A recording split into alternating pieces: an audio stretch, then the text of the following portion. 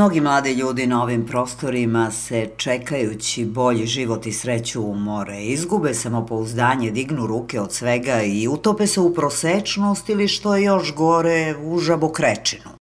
Ta bolest je lagano počela da hvata i našeg Miloša Unića, koga jako dobro poznajemo kao glumca u Akademskom pozorištu Studenskog kulturnog centra, ali se je na sreću otrgao i spasio sebe od svega onoga što je u nastavku moglo da ga snađe. Ne baš oduševljen i u velikoj dilemi da li da se otisne u svet ili ne, odabrao je ono prvo. Poslao je prvi put u životu svoj CV i motivaciono pismo i odabran je za asistenta na džez odseku u Francuskoj, a posle nekoliko meseci opet nevoljko i bez nade da će uspeti, konkurisao na master pozorišnim studijama i opet uspeo, duplo uspeo. Ali nije zanimljivo da ja to pričam. Lepše je kada to čini Milo Šunić koji je ostvario svoj san i još uvek ne može da shvati da se sve to njemu dešava i koji ume da priča bolje od mene kako to izgleda kada mlad čovek dodirne oblake i uhvati srećnu zvezdu. Boga mi se i ja zaglumih pored Miloša.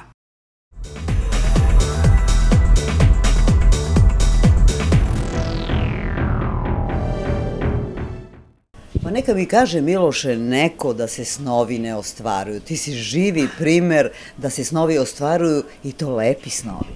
Pa, jeste. Jeste. I pre svega veliko hvala po jedan, ja mislim da je ovo hiljaditi put hvala, ali ov, ovo puta je to jedno najlepše hvala. Zato što samo vi i ja znamo kroz šta smo sve zajedno prošli, o čemu smo sve zajedno pričali, tako da pre svega hvala što smo zajedno sanjali u nekom trenutku iste snove. Na prvom mestu da budemo dobri ljudi, da nam ovaj život bude lep, nasmejan, a onda kasnije da nam se i ovi naši, ovo što sanjamo kad legnemo da spavamo noću, pa kao da nam se i to ostvari. Tako da da, sanjali, da sanjali i evo, snovi su nešto najlepše. Ja mislim da sam ja satkan 90% od svojih snova. Sanjali smo lepe snove, ali zajedno prolazili na neki način i kroz mnoga razočarenja. Jesu li ta razočarenja možda bila inicijalna kapisla da se čovek otisne u svet i da kaže, e, pa sad ću ja sam da pokošam nešto? Pa mene su razočarenja i sve to što sam ja doživljavao u tom trenutku što mi je padalo teško, zapravo uh, to me je podstaklo da na neki način ja idem dalje i da zapravo to je nekako bilo, bilo pravo merilo da je moj san vredan a, sanjanja i tako da sam ja to radio, nastavio da, da sanjam i dalje.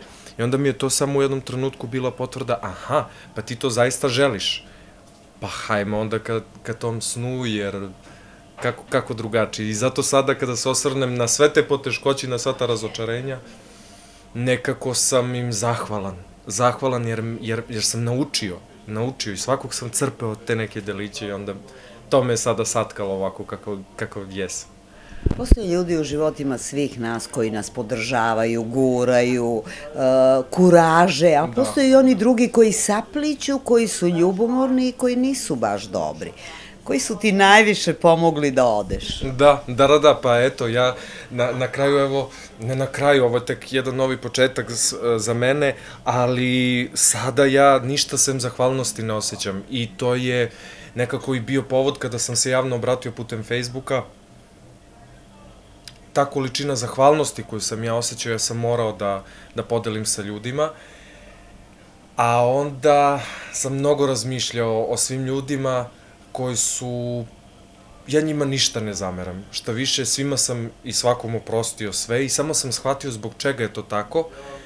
Neki od njih su, ne želeći da postignu efekat koji su postigli, upravo radili sve te stvari. Ali ono što je najlepše od svega toga je da je sa druge strane uvek bio neko ko je samo razumeo sve te stvari koji se nije, što mi kažemo, narodski busao na, na, na sve te ili provokacije ili na nemile događaje i stvari ja mislim da je to jedna od mojih glavnih karakteristika, to što dolazim iz kuće, iz porodice koja je dobro, što se kaže, uradila svoj posao. Vaspitali su me da u svakoj priči postoje i dve strane, da treba sagledati, treba biti strpljiv. To strpljenje ta lekcija se i dalje uči, ali je bila vredna. I onda sam sebi rekao, pa da, Miloše, to je to. To je to. Naučio si i sada si samo zahvalan. I osjećaš ništa sem te zahvalnosti. Porodica je bila ta koja ti je pomogla da izrasteš u čoveka. A opet Akademsko pozorište je kolevka tvog e, profesionalnog izrastanja. Ja sam čula da su neki ljudi tamo tebi pomogli da prelomiš, da si bio u dilemi da li da idem, da li da ne idem. Da, da, da. Pa Akademsko pozorište, mislim, ja sam tako jedan najlepši deo svoje mladosti posvetio uh, Akademskom pozorištu, tačnije Akademsko pozorište meni pružilo priliku da budem saučesnik u čitavoj toj prelepoj priči. I da, bilo je mnogo ljudi koji, koji su mi pomogli da moja odluka bude stamena i sada su mi ti ljudi prijatelji, sada od tih ljudi imam pa najlepšu moguću podršku, tako bih rekao. Imam jedan novi svet u kome mi je tako, tako lepo i tako lako da, da odem svaki put kada mi je ta podrška potrebna. I pomogli su mi mnogo i ta odluka koja, koja je došla je bila podupreta svim, svim dragim ljudima koji su bili u pravom trenutku tu za mene i rekli prave reči. To je nekako bilo, a sve to na jednom mestu, sve to u akademskom pozorištu, pre svega u Studenskom kulturnom centru, imati takvu podršku od institucije u kojoj si ti svojom voljom radio neke stvari i sve, iz sveg srca, naj, najiskrenije, najdivnije, ja mislim da je to jedan od mojih najvećih uspeha do sada. Znaš da je to bio prvi CV, motivacijono pismo koje si ti napisao? Da, da prvi CV, prvo motivacijono pismo. Ja sam čitavog života um, slušao i, i bio sam na mnogim predavanjima i u srednjoj školi. I na fakultetu smo učili o tim CV-ima, motivacionim pismima, ali ja nekako, nekako nisam imao prilike da tražim zaposlenje do, do, do tog trenutka, niti da ja sad kao tražim neka a, preusmerenja, ne Ja sam bio u akademskom pozorištu, ja iz, one, iz onog našeg sobička nisam izlazio 24 sata dnevno, jer sam radio na sebi, radili smo na tom pozorištu, radili smo na jednoj lepoj pozorišnoj priči u dragom nam Nišu. I onda je u jednom trenutku, samo sam ja shvatio da ja sad to moram da napišem, A nisi ni vežbao da pišeš ta motivaciona pisma CV, mm, nisi? Sada me sramota malo tog motivacionog pisma i tog CV-a koji sam ja sastavio u tom trenutku. Jer, je bilo... Ljudi idu na radionice, tako pa je, vežbaju. Da, da, da, to je sve bilo s brda s dola i sad kad sam video taj svoj CV, bilo kao, jao, jao Miloše, jao Miloše, imali ovde reda i da li se on nazire. Tako da, taj prvi CV koji usledio, to prvo motivaciono pismo je bilo zapravo moje prvo i najveće da do sada u mom životu, koje mi je promenilo život, koje me je odvelo sada već na neke druge strane sveta. I meni je zbog toga nekako ja, ja uh, kažu život piše romane i tu rečenicu sam čuo milion puta, ja sam se nekako baš pretplatio na te romane, pa sada samo menjam žanrove, da li je bilo thriller, horor, pa malo komedija, pa autobiografski, ali sve u svemu je da, prvi CV, prvo motivaciono, prvo veliko da i evo mene sada u jednom čudu da je sve to tako krenulo, a krenulo je od jednog mog druga koga poznajem i takođe iz Studenskog kulturnog centra koji mu u toku festivala ovde u Nišu samo pitao Miloše, ili ti hoćeš da ideš u Francusku?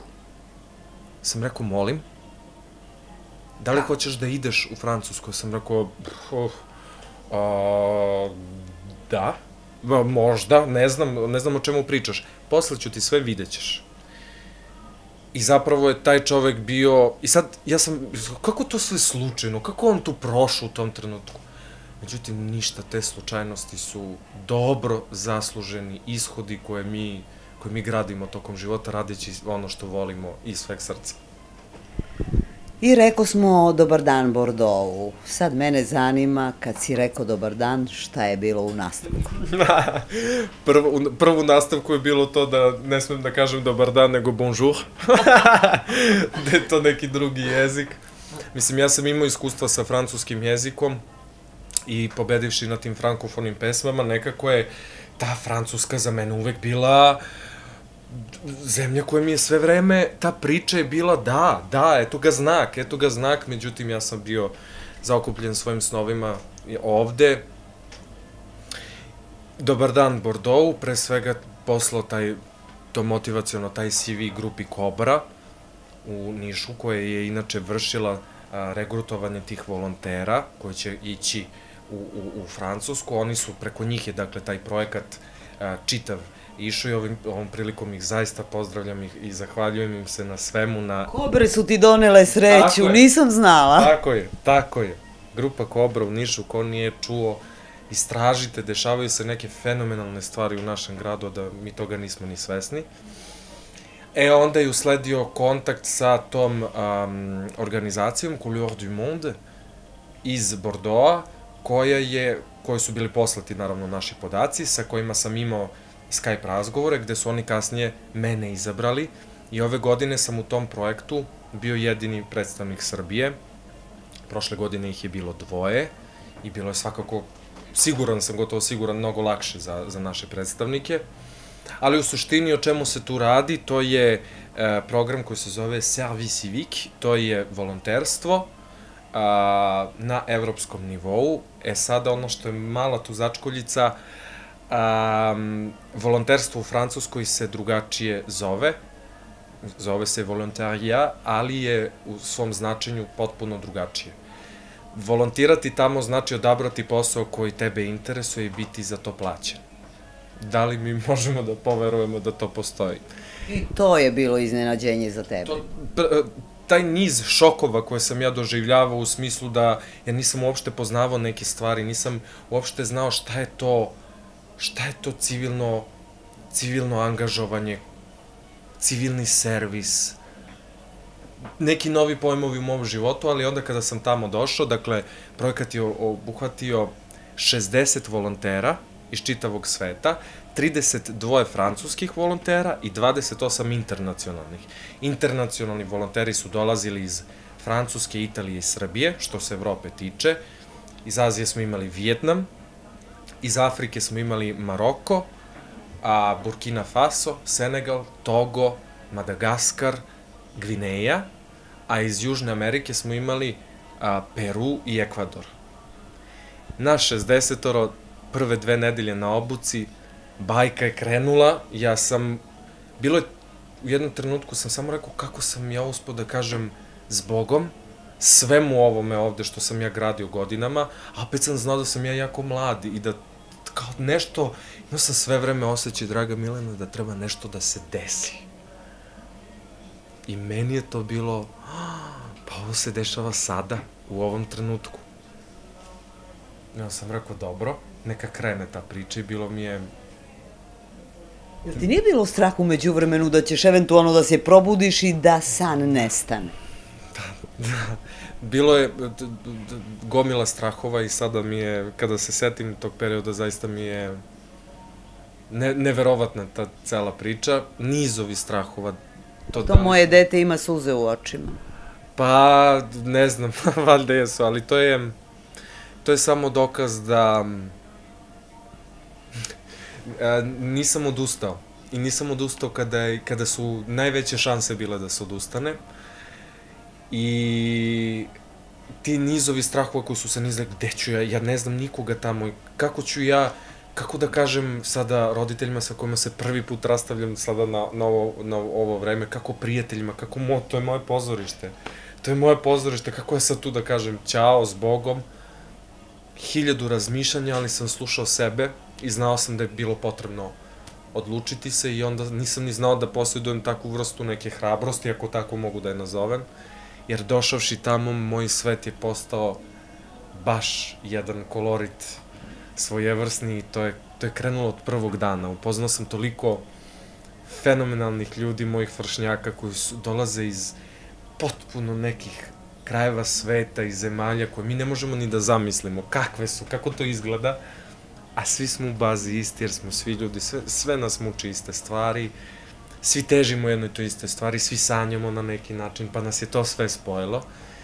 Ja sam samo shvatio da zapravo za mene kreće jedna priča I sad taj naboj sreće, des, u trenutku kada sam ja shvatio da će se upravo dešavati sve ono čemu sam ja od uvek sanjao, a to je da ću dobiti prostor da pronađem sebe, da istražujem prvenstveno i da se rekonektujem sa samim sobom, jer sam radeći i angažovać, uh, uh, kada sam bio angažovan ovde u mnogim institucijama, ja sam gubio sebe sve vreme, jer sam toliko radio da ja sam se prosao po drugim ljudima, institucijama, svom poslu, da je taj nekako Miloš, bilo mi je potrebna rekonekcija. To se upravo tamo desilo. Kako si pronašao sebe tamo? Pa, prvo i osnovno bio sam oslobođen bilo kakve vrste pritiska. Ja sam u Nišu imao 24-časovni pritisak, u smislu da se ovde treba dokazivati konstantno, čak i kada ti se to Kad se vidi radi. iz aviona. pa ne kad se vidi, ja, ja to ne mogu da kažem za sebe, ali kada, kada, kada, to, kada ti se ne radi to nekad. Nekad ti se samo pije kafa sa nekim, ili ti se druži sa nekim bez ikakve pomisli da sad ti kao tu moraš nešto znaš, ali ja sam ovo, ja sam ono.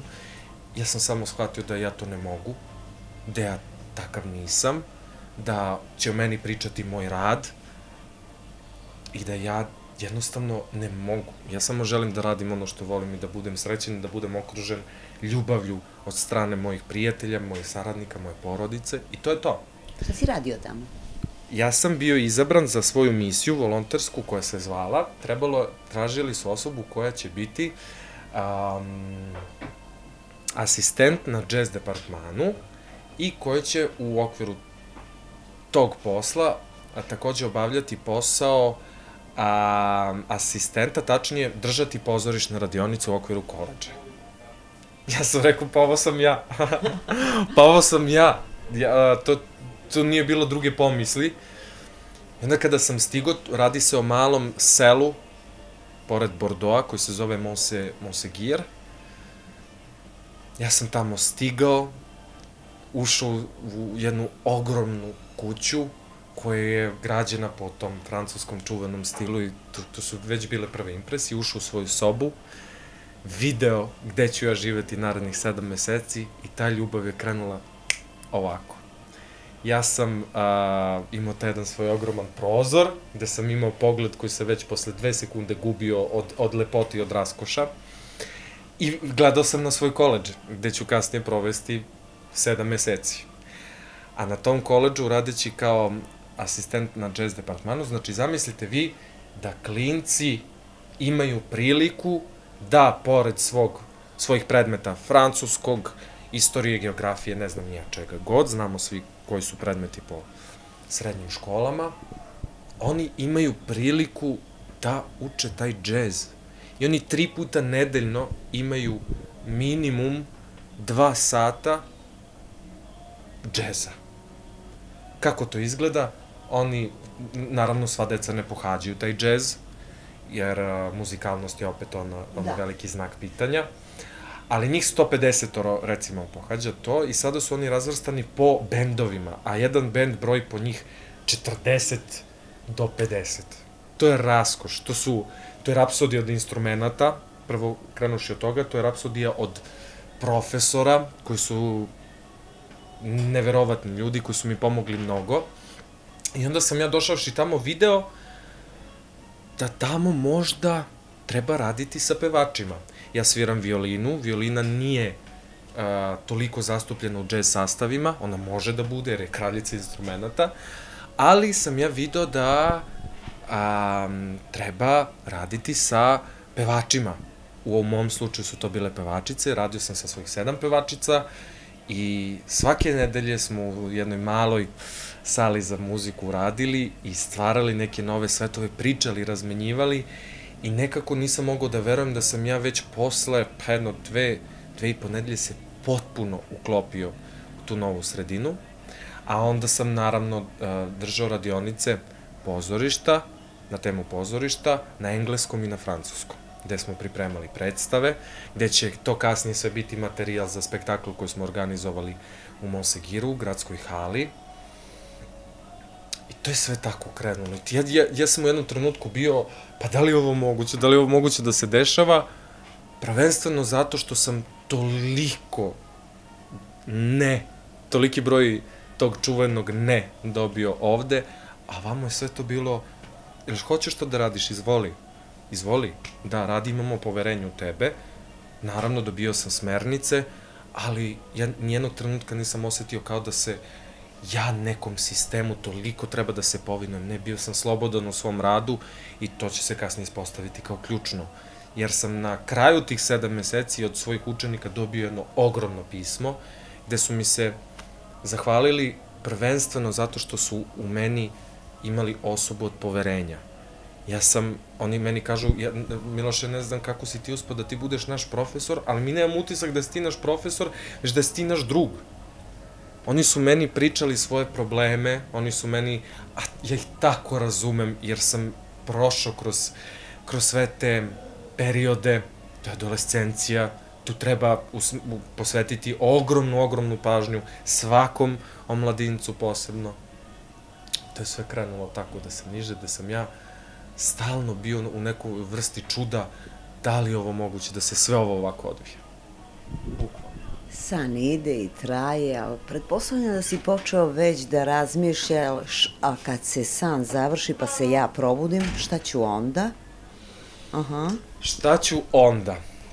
Večito pitanje, pogotovo ja mislim da je to pitanje koje nas mlade ili ukupa u mesto ili ne znam, ja sam krenuo da da razmišljam i onda sam naravno na nago, prv, prvenstveno na nagovor um, moj ferijal koja mi je, uh, to je moj prijatelj koji me, koja me je samo posavetovala i rekla ovo je predivno što, sve to što ti radiš, ali ja mislim da ti zaslužuješ mnogo više od ovoga. Zašto ti ne bi? Pazi, Francuska, ako je po nečemu posebna, posebna je po širokom spektru mogućnosti na svakom koraku. Pogotovo u obrazovnom sistemu gde imate toliko master programa, toliko fakulteta koji obrazuju za tako neke veštini, discipline o kojima sam ja mogao samo da sanjam. I onda sam ja rekao, da, zašto da ne? Ajmo da pokušamo na taj način, a drugo moja večita želja ovde bila da studiram tu glumu. I devet puta sam ja dobio to ne i to je bilo nemoguće. Ovde u Srbiji? Tako je. Na akademijama u Beogradu, Novom Sadu i Banja Luci, ukupno devet puta. To je razmak nekih 7-8 godina kako sam ja konstantno izlazio na te prijemne. I ona meni kaže, zašto ti taj tvoj san ne bi ostvario ovde? Pa kako ću ovde? Pa ja, ja ne mogu ovo, ona meni samo rekla, ćuti, ćuti, ćuti, razmisli, ti više tu prošlost treba da ostaviš za sobom, da ona bude prošlost i da te nečemu nauči, sada, sada, ajde.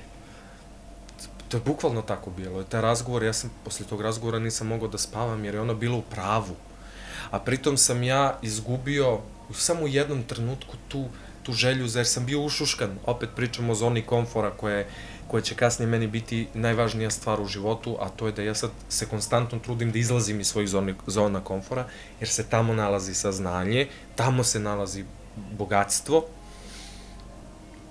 I desilo se to da ja odlučim, pa dobro, prijavit ćemo se za master programe ovde koji su vezani za glumu, koji povezuju mnoge discipline koje mene interesuju i ajmo da vidimo.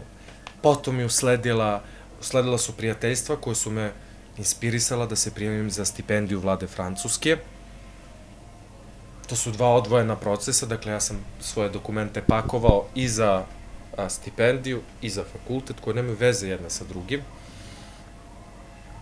I ja sam to ostavio, ja sam poslao svoje dokumente i krenuo sam da čekam, ali glavni problem se onda javio, a šta ako uspeš? Sad je, ja sam, moj organizam je navikao i moje biće naviklo na ne. Ali kako na, reagovati na da?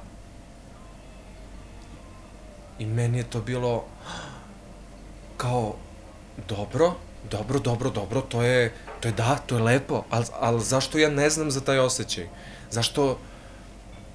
I onda je to krenulo korak po korak da se razvije, ja sam dobio poziv da sam prošao taj drugi krug, ja uh, sećam se, to je bio četvrtak, meni su javili iz Francuskog instituta da je meni sastanak za taj uži krug stipendije u utorak. sledeće nedelje je u Francuskoj, treba doći iz Francuske do Srbije. Ja sam u subotu uzao prvi avion, pokupio se i dotrčao bukvalno. Iako je postojala mogućnost i za Skype razgovor, ja sam znao da je Tako da sam ja imao razgovor sa komisijom uživo na francuskom i opet sam pobedio sebe na mnogo nivoa. I taj razgovor ću pamtiti do kraja života jer sam ja bio ja. Konačno onako kakvog sam ja sebe zamišljao. To je proteklo baš onako kako sam ja zamišljao. I nakon toga sam ja pustio da sve to ide svojim tokom. Čekao sam, prijavio sam se dakle za fakultete u Bordeauxu i e, za fakultet u Toulouseu i čekao, čekao, čekao, čekao, čekao, da bi krenule samo da stižu lepa vesti jedna za drugom. Ja sam bio na odmoru u Nici i te večeri sam bio u Monte Carlo i pozvala me moja dobra drugarica iz osnovne škole koja je takođe u Francuskoj, radi na univerzitetu na napređivanju francusko-nemačke literature Ona mene zove, kaže, Miloše, ja samo da te obavestim, ti si dobio stipendiju. Ja, molim? Dobio si stipendiju. Evo, od, od vas 90, izabrali su vas 13. I ti si izabran u ovoj kategoriji za kulturu i umetnost. Ja sam rekao, dobro, hvala ti puno što si me obavestila, čućemo se, mnogo ti hvala, i bio sam pogubljen I znao sam ja u tom trenutku da ta stipendija ne mora da znači ništa, jer ako mene ne primeni na jedan fakultet, ja ne mogu to da koristim za javni gradski prevoz po Francuskoj. Ne, stipendija ima svoju svrhu.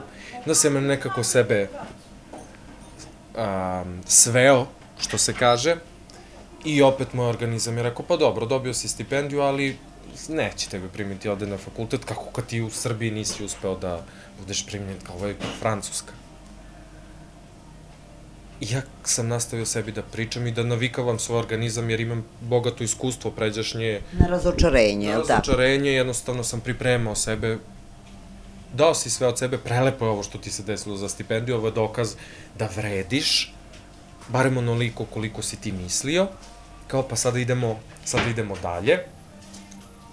I onda je nakon dva dana, ja taj prizor nikad neću da zaboravim, ja sam bio na plaži, bio najsrećniji, najopušteniji, najsmireniji ikada. Meni je samo stigo mail, dragi Miloš Uniću, sa velikim zadovoljstvom vas obaveštavamo da je komisija donela pozitivnu ocenu po pitanju vašeg dosijeja i da ste primljeni na drugu godinu, direktno drugu godinu master studija u Toulouse, na univerzitetu Jean Jaurès, na pozorišne, koreografske i cirkuske studije. U tom trenutku Šta si radio? Priznaj. Ne znam, evo, ne sećam se zato što je to bilo, to je bio trenutak u kome sam ja shvatio da je, da je to to, da je to to, da je to to i da tu nema, da tu nema ni, ni A ni B više, to je to. Ali ni to nije kraj.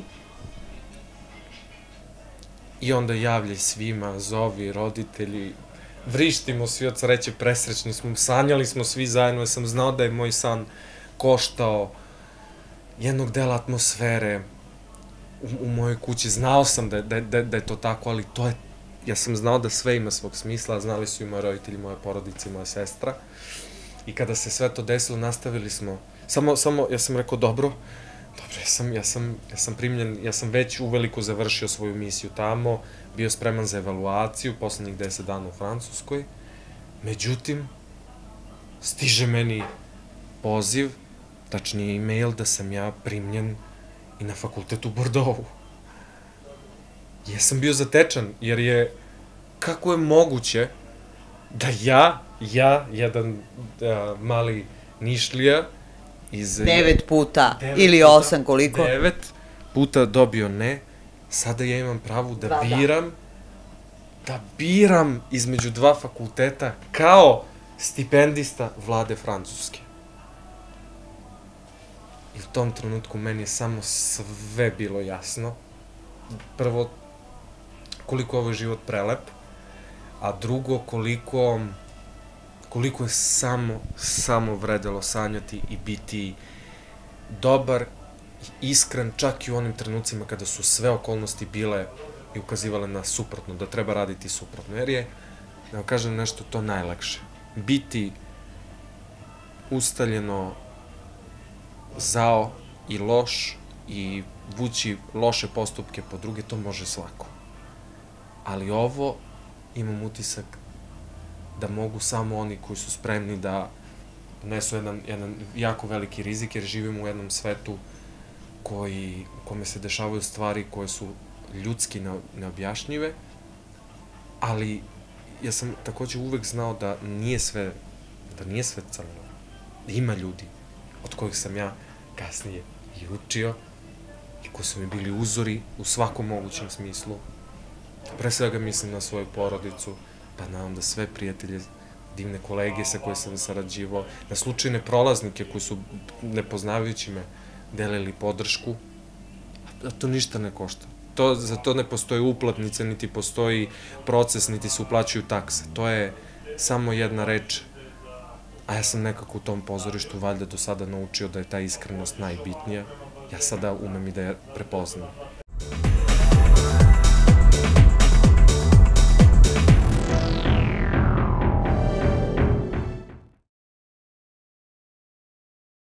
Miloš je još jedan od primera mladih ljudi koji su otišli koji treba da budu opomena državi da stavi prst na čelo i razmisli zašto oni odlaze.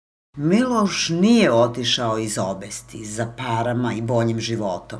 Otišao je jer mu niko nije pružio šansu da pokaže da je među najboljima. Devet puta je pokušavao da to dokaže i devet puta je izgubio bitku. U Francuskoj je šansu dobio iz prve i to ne jednu već dve.